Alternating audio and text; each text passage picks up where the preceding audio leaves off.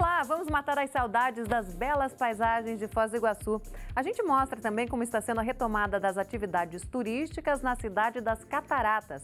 Veja ainda como o Cine Passeio leva o cinema para as pessoas em tempos de isolamento social. Como tudo vai ficar depois da pandemia do novo coronavírus, a gente preparou uma série de reportagens sobre o tema. E tem ainda um quadro novo, o Deus Saudade. Estes e outros assuntos você vê a partir de agora no Descubra Paraná.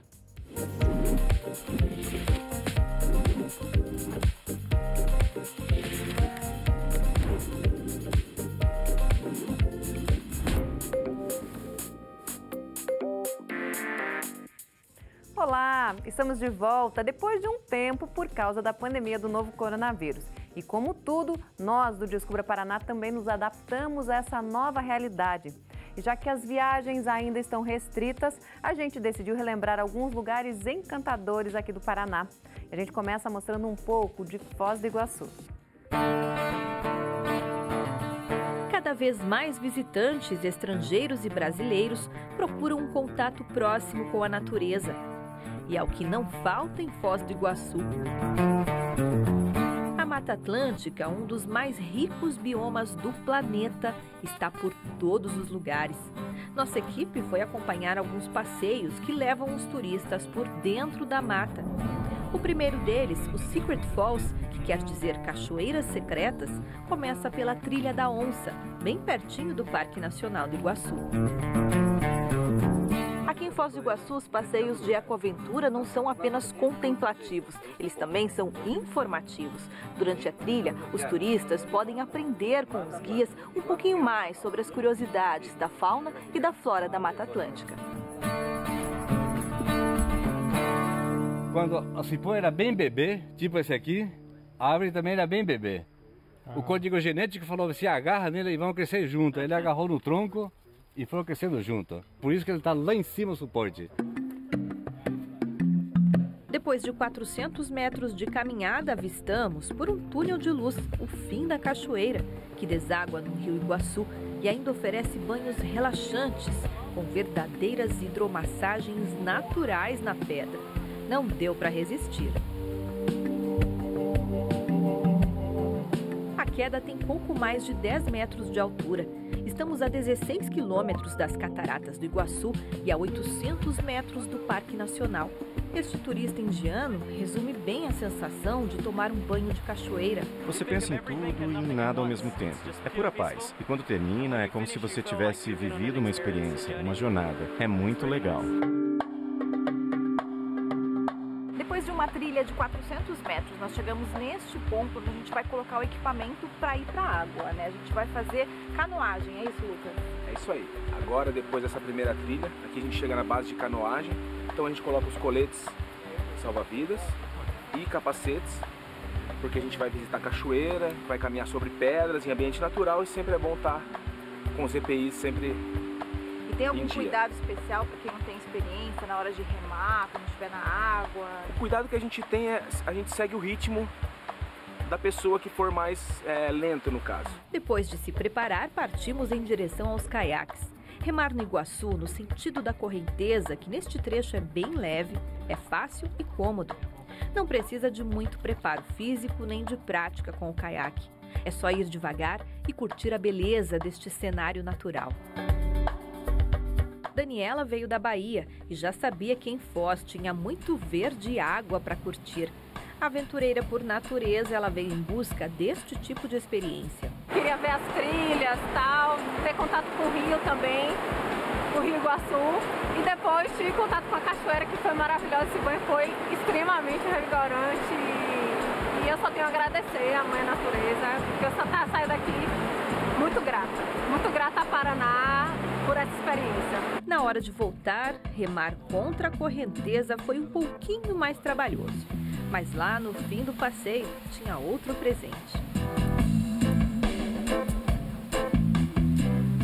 Quem visitou as cataratas e ficou sonhando com um banho de água gelada e refrescante, a experiência do turismo de aquaventura, feito com gente que conhece esta terra, é o complemento ideal para a viagem. Sai um pouco do roteiro tradicional, cataratas, Iguaçu, aquela coisa, de grandes atrativos e acaba indo para um, lado mais carinhoso, mais, mais aconchegante do turismo da cidade, né? Então, em primeiro lugar, eu acho que é isso daí. Em segundo lugar, o contato com a natureza, né? Você vê, aqui não tem concreto, aqui não tem é, linhas, aqui é natureza pura. Então, eu acredito que faz bem para a alma, faz bem para o corpo, a gente consegue é, é, ter um contato e é muito bacana.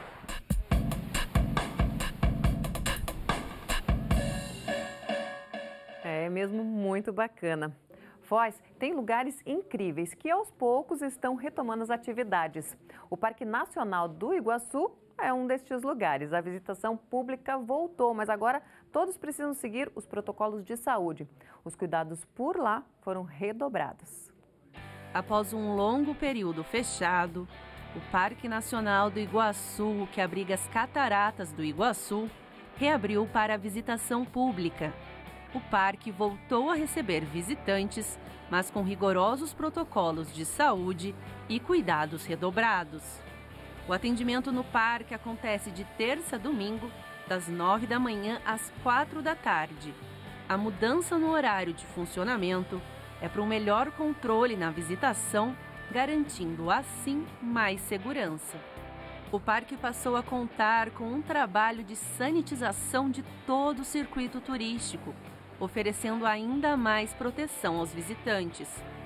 Agora o local faz o controle de acesso de todas as pessoas que visitam a unidade de conservação, com uma barreira sanitária instalada já no centro de visitantes. O público será recebido por uma equipe que vai aferir a temperatura e também orientar sobre o uso do álcool gel, do tapete sanitizante e o uso correto da máscara. Os ingressos são vendidos somente pela internet, pelo site cataratasdoiguaçu.com.br. Após comprar o ingresso, o visitante agenda o melhor dia e o horário para visita.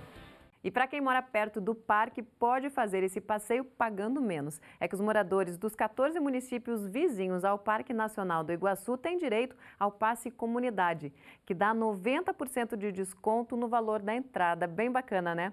O ingresso sai por R$ 14 para adultos de Foz do Iguaçu, Santa Terezinha de Itaipu, São Miguel do Iguaçu, Medianeira, Serranópolis do Iguaçu, Matelândia, Ramilândia, Céu Azul, Vera Cruz do Oeste, Santa Teresa do Oeste, Lindoeste, Santa Lúcia, Capitão Leone das Marques e Capanema.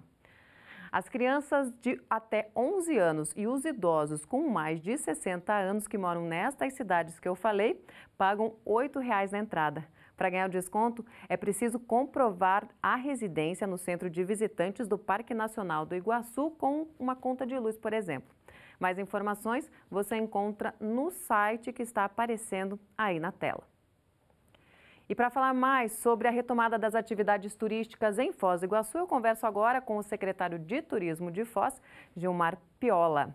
Oi, secretário, tudo bem? Conta pra gente como é que está essa retomada. Tem um cronograma aí na cidade?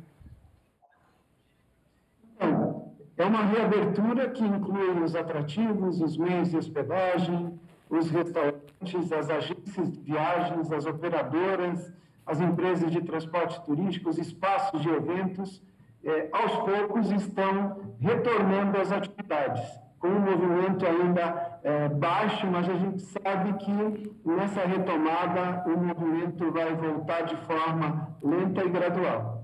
Agora, secretário, o perfil dos visitantes mudou também, porque agora as pessoas têm que tomar alguns cuidados. Neste primeiro momento, nós temos um número maior de visitantes, tanto locais como regionais, é, turistas que vêm de carro com o próprio veículo, é, das redondezas, é, do Paraná, de outros estados, né? mas também temos recebido já turistas de outras nacionalidades que já se encontravam no Brasil ou estão em trânsito no Brasil. E, secretário, quais os cuidados que essas pessoas que estão indo para Foz do Iguaçu devem ter? Além de usar máscara, é claro, tem alguma forma delas agendarem os passeios para evitar as aglomerações? Sim, Foz do Iguaçu se preparou muito para essa retomada. Nós instituímos os, os protocolos de responsabilidade sanitária e estamos certificando eh, os atrativos, os meios de hospedagem, restaurantes, enfim, todos os empreendimentos que cumprem os protocolos. Eh, desde a chegada no aeroporto, com barreira sanitária, eh, aplicação de questionário para identificar casos sintomáticos, até o uso obrigatório de máscara em todos os passeios, é, higienização das mãos, distanciamento social é, e também e também esse cuidado de é, quando for é, adquirir ingresso num atrativo, é, optar sempre pelo ingresso eletrônico para evitar filas e aglomerações. Tá certo, então, secretário. Obrigada pela entrevista. Foz, então, preparada para receber os visitantes. Estamos esperando eh, os paranaenses, os brasileiros em geral, eh, todos os cuidados eh, para que eles se sintam tranquilos e seguros aqui na nossa cidade. Tá certo. Muito obrigada, secretário. Eu que agradeço. E no próximo bloco, os parques estaduais reabrem para visitação. E veja como o Cine Passeio leva o cinema para as pessoas em tempos de isolamento social. Não saia daí, a gente volta já.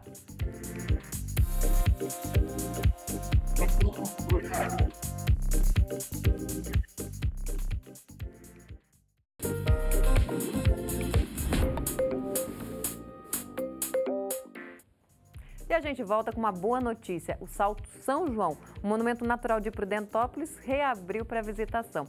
Mas é claro que com todos os cuidados para evitar a proliferação da Covid-19. Na data do aniversário de 114 anos, o município de Prudentópolis, na região central do estado, reabriu para a visitação o Monumento Natural de São João. O local vai seguir medidas sanitárias estabelecidas, como distanciamento social e higienização das áreas comuns pelo telefone 42 3908 1105 é feito o agendamento da visitação, que acontece de quinta a domingo, das 9 da manhã às 4 da tarde. A Prefeitura destaca que é obrigatório o uso de máscara em todo o trajeto e que o visitante deverá levar o próprio álcool em gel. 12 de agosto, aniversário de Prudentópolis, 114 anos. E Prudentópolis recebeu um presente nessa data, que é a reabertura no Monumento Natural Salto São João. Aos poucos, Prudentópolis vai retornando o turismo, tão esperado, uma cidade turística maravilhosa. A administração municipal não mediu esforços para que trabalhar em conjunto com toda a equipe para essa grande reabertura. A equipe está toda preparada é, para receber você turista, com toda a segurança, novas normas, bastante cuidado. Venha conhecer Prudentópolis, você ficará encantado com as nossas belezas naturais. E além do Salto São João, a Secretaria de Estado do Desenvolvimento Sustentável e do Turismo liberou a abertura de outros 17 parques estaduais que estavam fechados por causa da pandemia do novo coronavírus, como o Pico do Marumbi, o Pico Paraná e o Guartelá. Essas unidades de conservação estão funcionando com capacidade de público reduzida para 50%. Por isso, o ideal é ligar antes para agendar o passeio ou acessar as redes sociais. Você pode conferir os contatos de cada unidade no site que está na tela. E vale lembrar que o uso da máscara é obrigatório nestes locais. Além disso, haverá álcool em gel disponível e aferição da temperatura na entrada. O Parque de Vila Velha continua fechado e tem previsão para reabertura em setembro. Já a Ilha do Mel permanece fechada para visitantes e a reabertura depende da aprovação dos protocolos de segurança da Secretaria Municipal de Saúde.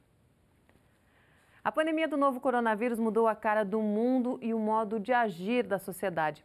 Uma pesquisa feita pelo Observatório da FIEP apontou que a ciência deve ser mais valorizada depois da crise. Nossa equipe preparou uma série sobre o mundo pós-Covid-19.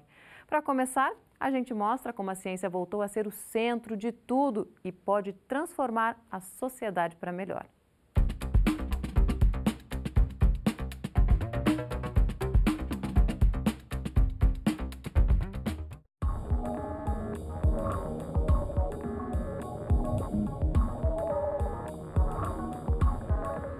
Ciência e pesquisa passaram a ser assuntos do dia a dia desde o início da pandemia. Novos medicamentos, testes de vacinas, análise de dados e curvas de contágio da Covid-19 são temas que estão na internet e nas conversas praticamente todos os dias.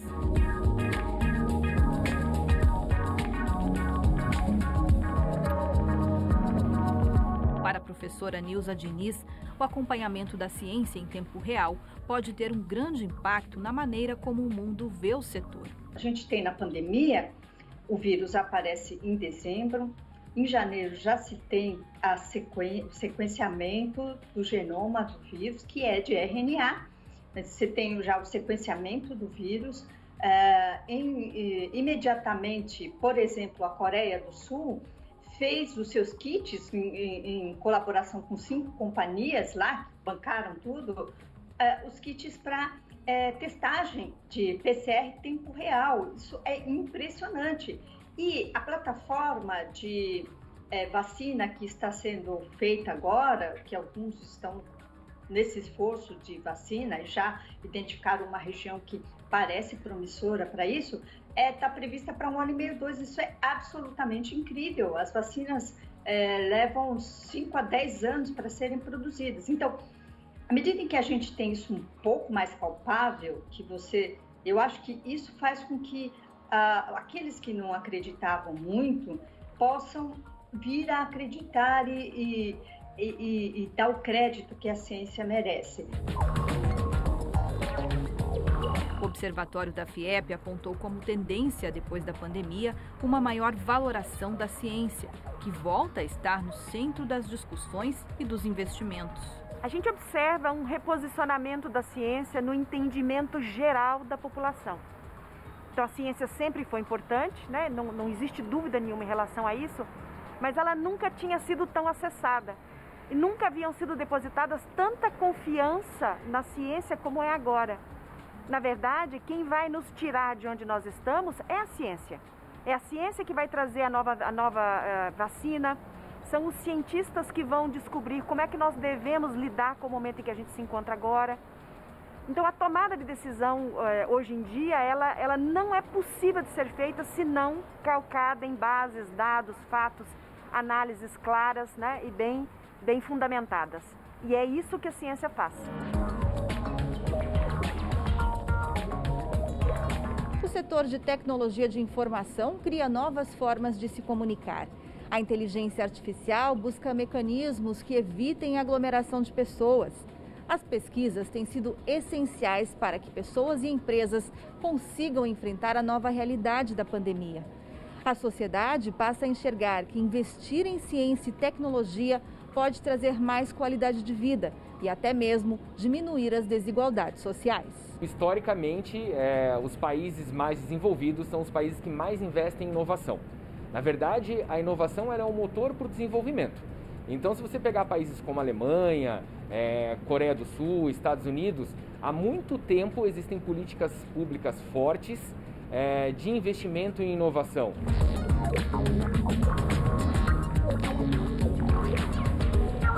Partir do momento que uma indústria desenvolve um produto com alto valor agregado, com alta tecnologia, essa indústria, além dela entregar um produto diferenciado para a sociedade brasileira, ela também passa a exportar, ela passa a vender mais, ela cresce. Com esse crescimento, ela paga melhores salários e ela também emprega mais.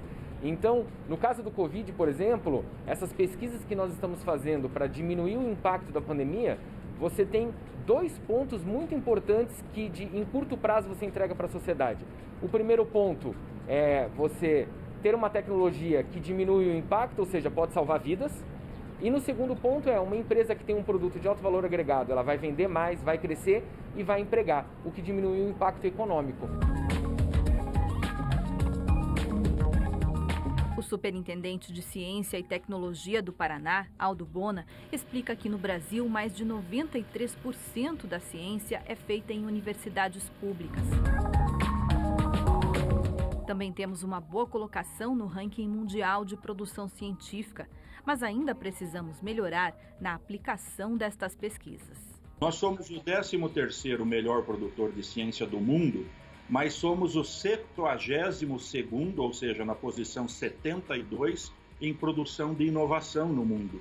Isso significa que nós temos um descompasso entre a ciência que fazemos e, e transformar esta ciência numa, uh, numa inovação, num produto, em algo que esteja à disposição para facilitar a vida das pessoas.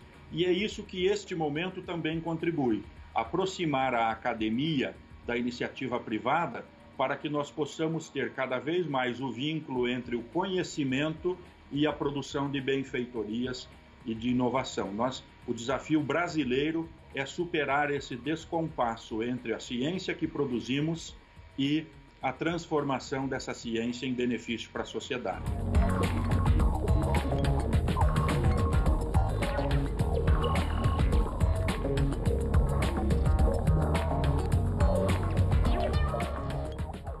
Projeto Cine Passeio aqui em Curitiba tem a proposta de trazer de volta a concepção dos cinemas de rua e um espaço voltado à formação audiovisual. E como tudo neste ano, ele foi adaptado e agora o público pode conferir a programação virtualmente.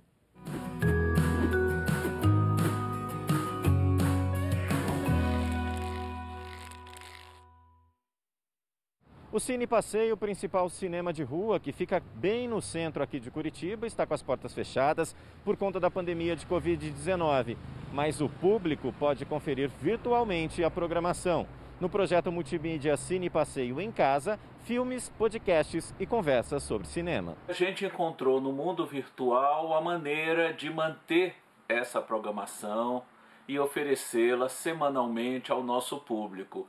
Inicialmente, nós criamos uma sala virtual chamada Cine Vitória, onde nós colocamos à disposição do nosso público via streaming através do nosso site, o cinepasseio.org, uma gama de filmes bem variados, como era a nossa programação anterior, para que esse público fiel nosso e um público novo que vem a partir daí tem acesso a uma programação de qualidade. Além das sessões gratuitas, um novo serviço pago começa a ser disponibilizado por streaming. Nós abrimos uma nova sala virtual, a Sala Cine Plaza, onde serão disponibilizados ao público lançamentos, filmes inéditos no Brasil e não disponíveis em qualquer outra plataforma de streaming de lançamentos. Estes filmes em particular é, terão um valor que o público pagará quando acessar para poder assistir a esses filmes. Também são oferecidos podcasts relacionados à produção audiovisual com diversas personalidades. E todos os sábados o destaque é o ciclo de debates online e gratuito. Cada semana é abordado um tema diferente ou a vida e obra de algum cineasta importante, sempre algum tema que tem como foco, obviamente, a sétima arte. Toda a programação pode ser acessada no site cinepasseio.org. A retomada das aulas na rede estadual de ensino aqui no Paraná deve ser em setembro. E eu fui conferir como as escolas estão se preparando para receber novamente os estudantes. É muito trabalho para garantir uma volta segura para todos. A sala de aula já está adaptada para receber novamente os estudantes. As carteiras foram colocadas respeitando o distanciamento de um metro e meio. O álcool gel também está disponível para os alunos. Na entrada, todos devem medir a temperatura e também higienizar os pés. Assim como aqui, todas as escolas da rede de ensino do Paraná seguem um protocolo definido pelo Comitê de Volta às Aulas, que foi criado pelo governo do estado por causa da pandemia do novo coronavírus. O retorno dos estudantes deve ser em setembro e prevê o ensino híbrido, que faz uma escala com as aulas online e as aulas presenciais. Os horários de entrada e de chegada serão intercalados. Nós não teremos mais uma entrada única, com horário único, como é até então. Então, cada colégio vai ter que organizar isso de forma que tenhamos aí uma chegada dos alunos sem aglomeração. Numa semana, um grupo participa da aula é, presencialmente, na outra semana, esse grupo assiste em casa e vice-versa. Então, ou está em casa acompanhando a aula, ou está na sala de aula presencialmente. A higienização das escolas é feita constantemente por servidores paramentados para garantir um ambiente seguro. O protocolo ainda prevê uma consulta aos pais para a retomada das aulas. Nós vamos fazer uma pesquisa, a Secretaria de Estado de Educação vai aplicar uma pesquisa junto a todos os pais, mães, a todos os alunos, para verificar da, da intenção daquela família de levar o aluno, de retornar o aluno para a aula presencial. Se a família entende que o aluno não deve retornar, essa vontade da família vai ser respeitada e esse aluno, essa aluna, pode continuar acompanhando o ensino em casa. Todo mundo se adaptando, né? E esse novo normal tem deixado muita gente com saudade. Saudade de ver os amigos, de sair, de passear, conhecer novos lugares. Mas como tudo isso vai passar, a gente preparou um quadro novo, com sugestões para você já ir se programando para voltar a explorar o Paraná. Quem dá a dica de hoje para a gente é a Marisa. Olha só.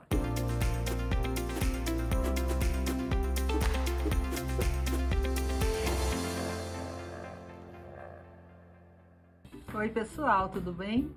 Meu nome é Marisa, eu sou jornalista. Eu sou gaúcha, mas eu moro há 30 anos no Paraná. E eu tenho muita saudade de alguns passeios muito legais que eu fiz pelo Paraná com o meu marido, com a família e com amigos.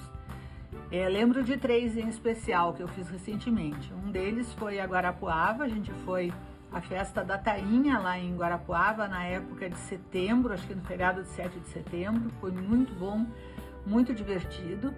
Nunca pensei em comer peixe no interior do Paraná, né? Tão longe do litoral, mas é muito bacana.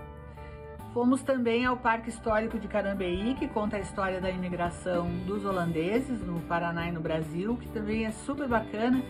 Tem um restaurante muito bom, com tortas, com doces, vale muito a pena, é perto de Curitiba, dá para ir e voltar.